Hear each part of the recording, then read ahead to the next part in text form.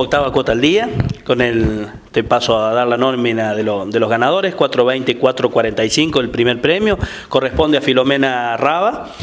El segundo premio, el 420-630, que es Julia Mengoni. Y el tercer premio, el 488-986, que es eh, Neil eh, Marcelo, el director del centro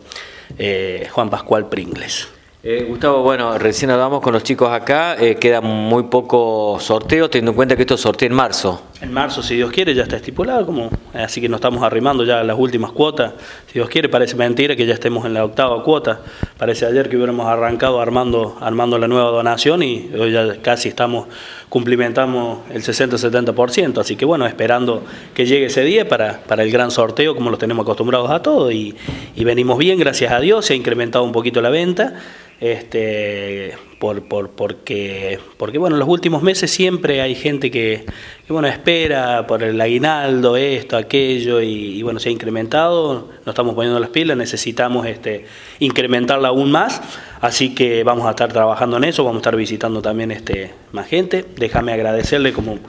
como hacemos siempre, este, bueno, un poco a la comunidad, pero también a, los vendedores, a los vendedores que hacen un trabajo excepcional, más allá de que muchas veces nos dice, pucha, por casa no pasó, por esto, por aquello, y seguro que han pasado, no lo han encontrado, este, pero hacen un trabajo espectacular, recorren el pueblo de punta a punta, y bueno, y se ve reflejado acá cuando, cuando vienen a rendirnos las cuotas. Eh, Gustavo, bueno, al margen de esto, ¿cómo viene toda la actividad bomberil?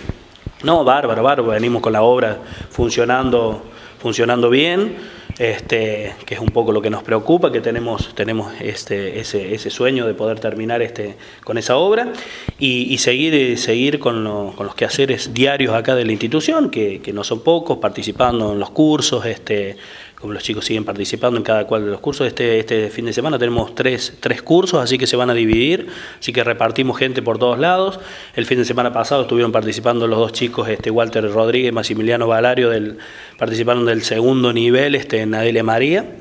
y bueno, tuvieron este... Eh, que, participar también eh, ese día que fueron en el rastrillaje de lo que fue de encontrar el cuerpo de esta, de esta, de esta chica, así que bueno, ellos estuvieron haciendo rastrillaje también, estuvieron participando de eso, con una experiencia, dice que me contaba Maximiliano esta mañana, que bueno, más o menos donde aparece el cuerpo, este, ellos estuvieron ahí a, muy pocos metros sí que estuvieron, estuvieron haciendo el rastrillaje, así que este, bueno, eh, así que tenemos, tenemos participación, estamos en alerta roja por los incendios en la, en la sierra, así que en cualquier momento nos convocan para que vayamos a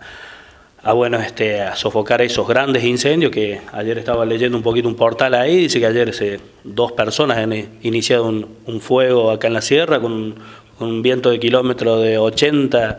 por hora y decir este, en qué cabeza cabe. Pasa todo por la concientización y que la gente un poco empiece a pensar un poquito, nada más. Gustavo, bueno, ¿algo más para, para contar? No. no, nada más, agradecer a todos los que nos siguen colaborando, simplemente eso, a ustedes que están siempre presentes por difundir lo que hacemos y, este, y, y nada, estamos a tu disposición cuando lo solicites.